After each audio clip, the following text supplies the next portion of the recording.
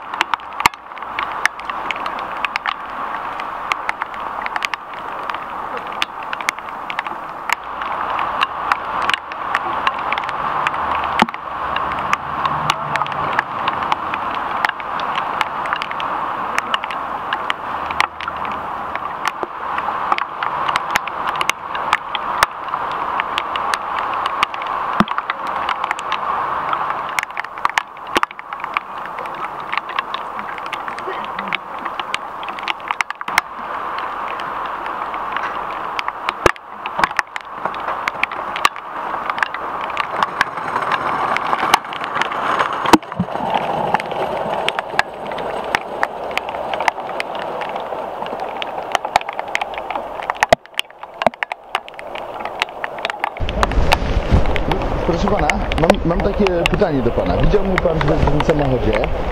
Trochę się zahaczałem, trochę dziwnie się zachowałem, wołałem do pana.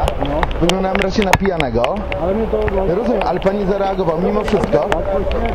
Chodzi, nie, chodzi, chodzi mi o to, ale rozumiem, tylko... A, że nie zareagowałem. to Tak, tak, tak. Ja ale no powinienem. Właśnie o to mi chodzi, że ten, że wszyscy, wszyscy chcą reagować w sprawie pijanych kierowców, jak już jest pijany kierowca na drodze. Nie, nie reaguję. Właśnie. Nie